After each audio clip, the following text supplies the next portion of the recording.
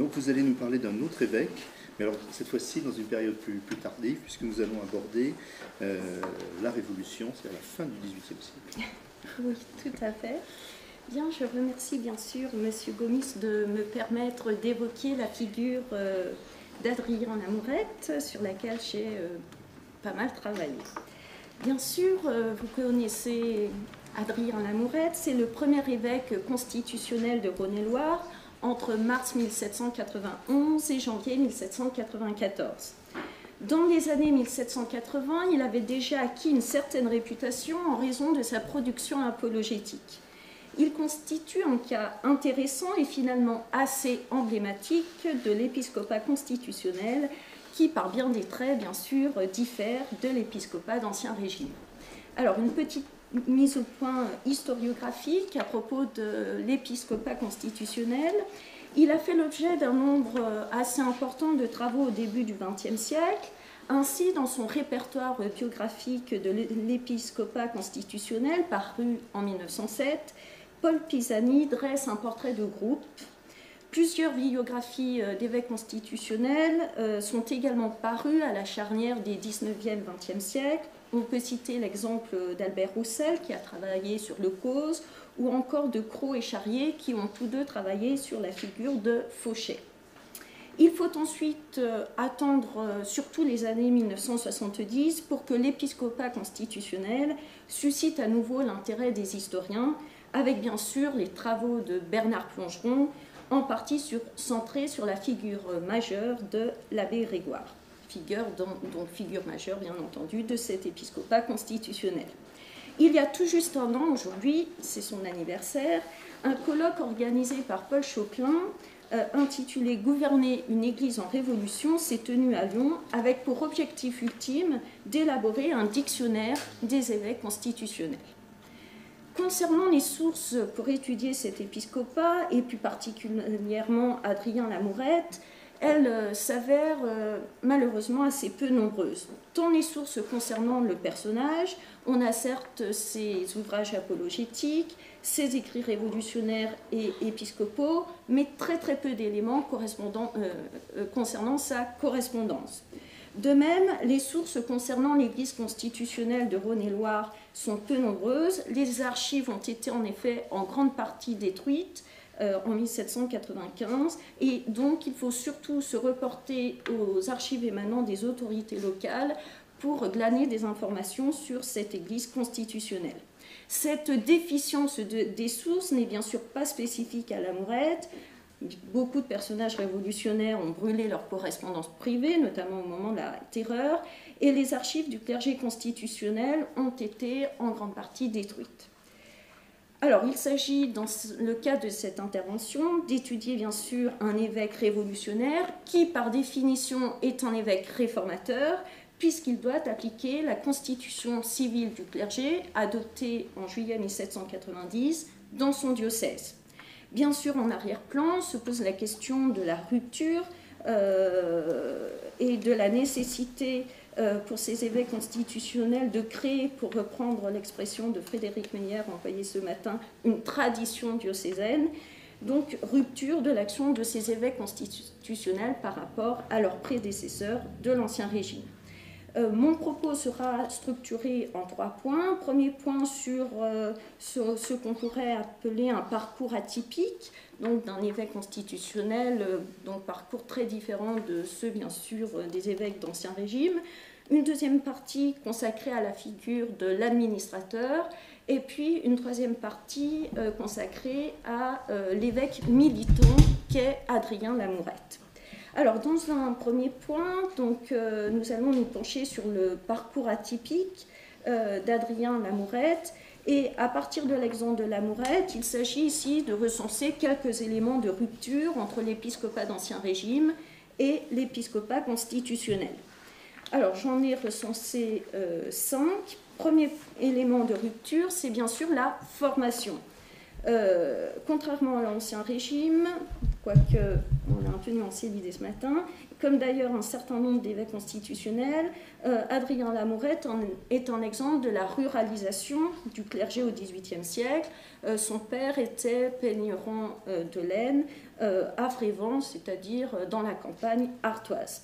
L'atout de Lamourette est d'avoir bénéficié d'une solide formation intellectuelle et de bénéficier d'une stature intellectuelle dès avant la Révolution.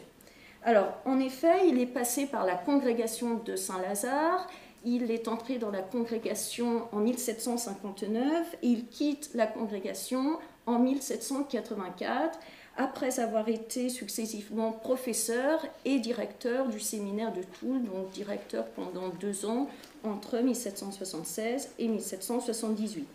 On peut préciser qu'il a obtenu un doctorat de théologie en 1776 à l'université de Nancy.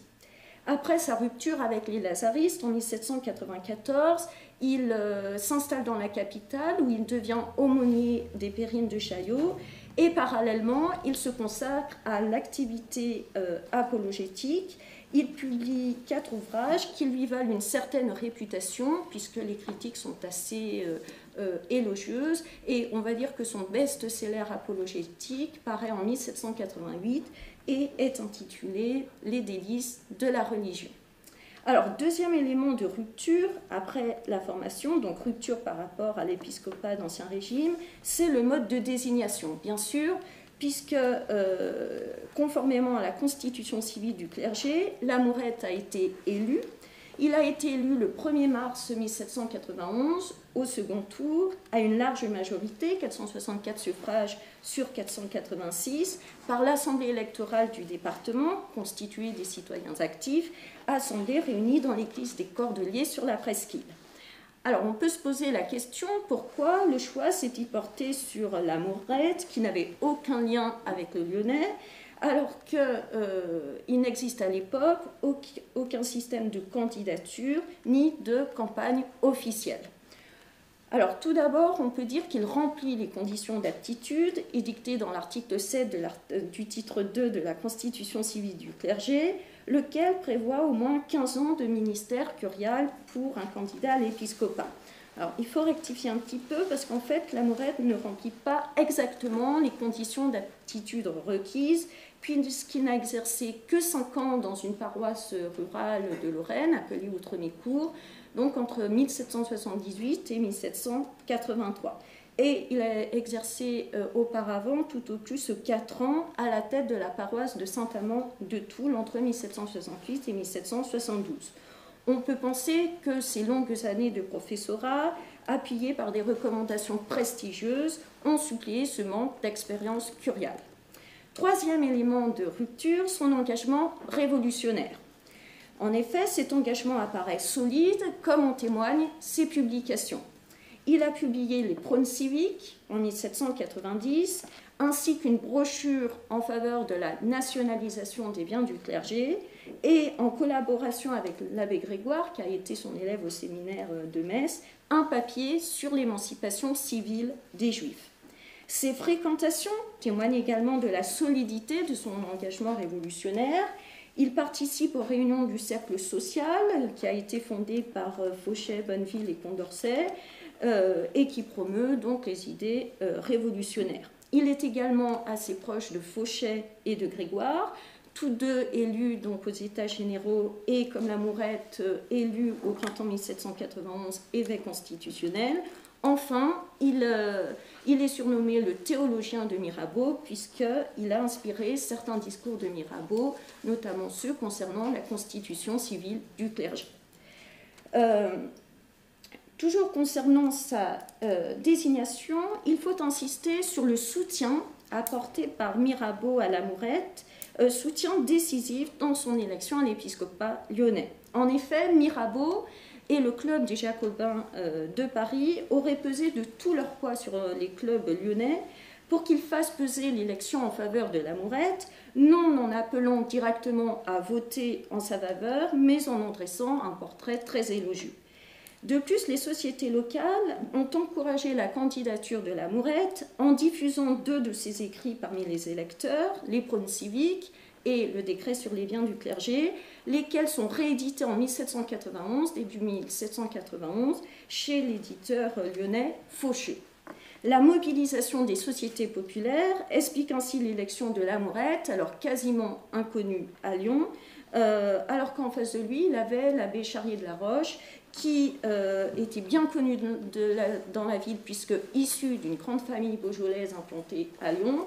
Et euh, rappelons également que Charrier de la Roche était député aux États généraux. Donc Charrier de la Roche, finalement, sera élu en, sera élu en Seine-Maritime, enfin Seine-Inférieure, et non à Lyon. Alors, je reviens à mes éléments de rupture après la formation, après le mode de désignation.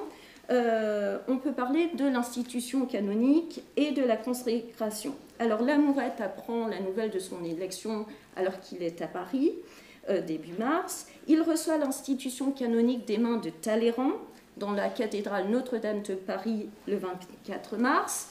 Selon le texte de la constitution civile du clergé, il aurait dû être institué par le plus ancien des évêques de sa métropole, à savoir Lafont de Savine, ancien évêque de Viviers, devenu évêque euh, de l'Ardèche, mais celui-ci délègue ses pouvoirs à euh, l'ancien évêque d'Autun, Talleyrand.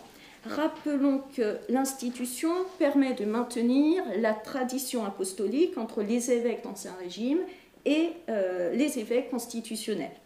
Puis, le 27 mars, après avoir prêté, euh, je cite le texte de la Constitution civile, le serment solennel de veiller avec soin sur les fidèles du diocèse, d'être fidèles à la nation, euh, à la loi et au roi, et de maintenir de tout leur pouvoir la Constitution décrétée par l'Assemblée nationale et acceptée par le roi, L'amourette reçoit la consécration ou sacre, cette fois-ci des mains de Goebel, euh, qui a été élu évêque de la Seine, donc évêque constitutionnel euh, de Paris. La consécration confère quant à elle au nouvel évêque le pouvoir d'ordre qui vient directement de Dieu et établit donc l'union spirituelle entre l'évêque et son diocèse. L'amourette peut enfin préparer son séjour à Lyon où il arrive euh, dix jours plus tard, précisément le 11 avril. Quatrième élément de rupture, c'est bien sûr le cumul des fonctions épiscopales et législatives, puisque Lamourette a été élu à la fin août 1791 député à la législative, en grande partie grâce à la popularité acquise en tant qu'évêque constitutionnel entre donc le mois d'avril et le mois d'août 1791. Cette élection implique bien sûr qu'il s'éloigne de son diocèse, euh, précisément du 27 septembre 1791 à l'automne 1792. La date de son retour est très floue. Et cette élection à un mandat national peut être diversement interprétée, soit comme un motif de soulagement, car elle constitue pour la Mourette une sorte d'échappatoire, alors que son diocèse euh, connaît des tensions croissantes, ou soit au contraire comme l'occasion pour lui de euh, poursuivre un engagement révolutionnaire à l'échelle nationale. J'ai dit au contraire, mais les deux pourraient se cumuler. Alors, cinquième élément de rupture, euh, la fin de l'amourette, puisque malheureusement l'amourette ne meurt pas d'une belle mort ou de maladie, mais il est exécuté le 11 janvier 1794 après avoir été condamné par le tribunal révolutionnaire. Les motifs sont doubles. Donc, euh, tout d'abord, en raison de ses relations avec Mirabeau, et ensuite, deuxième motif, son engagement en faveur des fédéralistes lors du siège de Lyon. Je rappelle rapidement que la Mourette a été arrêtée le 29 septembre, alors que les armées conventionnelles pénétraient dans la ville, et qu'ensuite il a été transféré à Paris euh, le 4 octobre pour être jugé par le tribunal révolutionnaire. Et comme Fauchet, il connaîtra le destin d'être euh, guillotiné. Donc, une fois élu, la tâche de notre évêque constitutionnel consiste à euh, se rendre dans son diocèse pour poser les fondements de l'Église constitutionnelle. J'en viens à ma deuxième partie, l'évêque euh, administrateur. Alors, auparavant, précisons que la Mourette n'est pas seulement évêque constitutionnel de Rhône-et-Loire, selon la titulature officielle, qui n'est pas celle d'évêque de Lyon, mais il est également métropolitain du Sud-Est. Ce qui s'accompagne de devoirs particuliers. En cette qualité, il doit officier des cérémonies d'institution ou de consécration d'autres évêques constitutionnels entre, entre, le 31 mars et le 3 avril. Donc, Sir Joachim Gosserand, évêque du Tarn, tous relèvent de sa métropole, ainsi Goutte, évêque de Saône-et-Loire, Royer, évêque de l'Ain, euh, Thibault, évêque du Cantal, Pouchot, évêque d'Isère, et Delcher, euh, évêque de Haute-Loire. La Mourette prend donc une part active dans l'établissement de l'épiscopat constitutionnel. Ces célébrations donc expliquent pourquoi il est euh, contraint de retarder son arrivée à Lyon. Pendant euh, le mois de mars, il noue toutefois une relation épistolaire avec son diocèse et conformément à l'article 19 du titre 2 de la Constitution civile du clergé, rajouté sur les instances de l'abbé Grégoire, il envoie une lettre de communion au pape. Arrivé le 11 avril au soir à la porte de Vèze, au nord-ouest de Lyon, l'amourette est installée dans l'église métropolitaine Saint-Jean lors de la cérémonie du 14 avril et peut donc, à partir de ce moment-là, s'atteler à la mise en place de l'Église constitutionnelle. L'évêque, comme euh, les évêques d'Ancien Régime, n'administre pas seul le diocèse. Conformément à la loi, il s'entoure d'un conseil métropolitain composé de 16 vicaires habilement choisis par lui. Alors pourquoi habilement? Parce que tout d'abord, il euh, s'entoure de personnages qui se caractérisent tous par leur patriotisme. Deuxièmement, il s'entoure d'hommes de confiance, par exemple de Jean-Antoine Molin, qui est un prêtre vélave, qu'il a connu à Paris, ou encore de Jean-Baptiste Barre, qu'il a côtoyé au séminaire Sainte-Anne de Metz. Ensuite, il choisit également des locaux, c'est-à-dire des personnes issues du, clergé du département, et les nomme soit pour leur engagement aux côtés du Parti patriote, ou soit pour leur parenté avec des personnalités patriotes. C'est le cas de Nicolas Joliclair et Hugues Doutre, qui sont tous les deux des patriotes actifs. Euh, Antoine Flachat, il n'est autre que le neveu du maire, Louis Vital, et Félix Bray, le parent de François Bray, procureur de la commune de Lyon. D'autres facteurs peuvent également jouer. C'est le cas d'Hugues Doutre, qui est un adepte du mouvement convulsionnaire. Euh, du mouvement convulsionnaire et donc sa nomination permet à la Mourette de se concilier les jansénistes du Forêt à implanter de surcroît dans des régions majoritairement réfractaires. Donc, d'après la Constitution civile, ces vicaires épiscopaux ont surtout le rôle de conseiller l'évêque, la décision finale revenant à la mourette. Le Conseil euh, métropolitain joue également un rôle très important euh, lors de l'absence de la mourette quand euh, il séjourne à Paris en raison de son mandat national. Alors, l'amourette, finalement, est-ce qu'il est présent dans son diocèse Il est présent entre le 11 avril et le 27 septembre 1791. Et c'est surtout pendant ces quelques mois qu'il va révéler ses qualités d'administrateur. Quand il revient à l'automne 1792, jusqu'à son arrestation le 29 septembre 1793, euh, le rôle d'administrateur est beaucoup moins important et l'objectif de l'amourette, c'est euh, d'éviter la décomposition de l'Église constitutionnelle. Alors, quelle réforme est-il en œuvre en 1791 Tout d'abord, ils mettent en place, conformément à la constitution civile du clergé, un séminaire constitutionnel. L'objectif est bien sûr de pourvoir à la formation du clergé constitutionnel dans un contexte de pénurie euh, aggravé par les nombreuses rétractations au printemps 1791. Ce séminaire va connaître plusieurs dysfonctionnements, des problèmes de direction, euh, le, faible afflux des séminaristes. Toutefois, l'abbé Duret, donc un lyonnais qui euh, a laissé un précieux journal composé de notes, euh, souligne qu'il y a 18 ordinations, ce qui est très peu, qui sont célébrées dans, dans le diocèse. Donc 18 séminaristes qui terminent, on va dire, leurs études.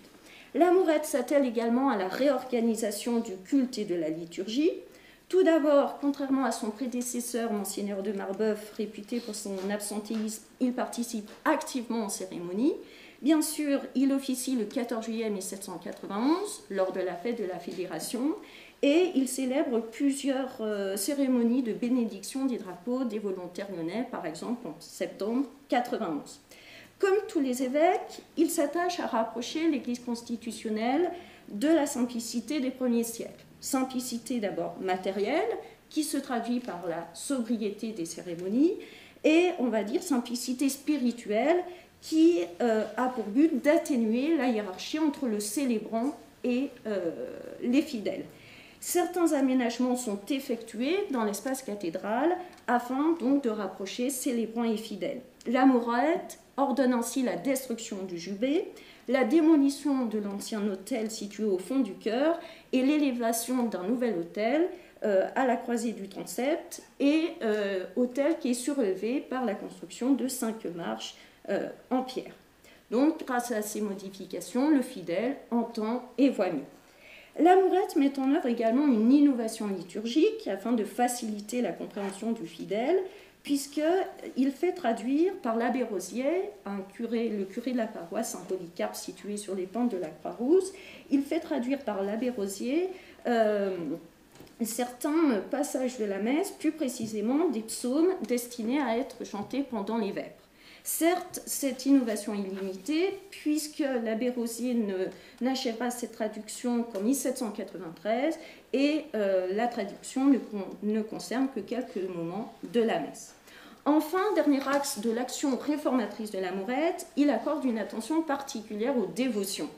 En effet, il décide d'installer sous le nouvel hôtel de l'église métropolitaine deux reliques de chrétiens célèbres ayant séjourné à Lyon. Tout d'abord le chef de Saint-Irénée, et ensuite le trône utilisé par le pape Innocent IV lors du Concile général de 1245. Alors cette centralisation des reliques a un double avantage. D'une part, regrouper les fidèles dans un espace sacral urbain clairement défini, à savoir l'église métropolitaine, c'est-à-dire la cathédrale. D'autre part, prévenir les pèlerinages dans des chapelles conventuelles détenues par les réfractaires. De plus, elle permet de faire coïncider deux piliers de l'Église constitutionnelle, la référence à l'Église primitive et le conciliarisme.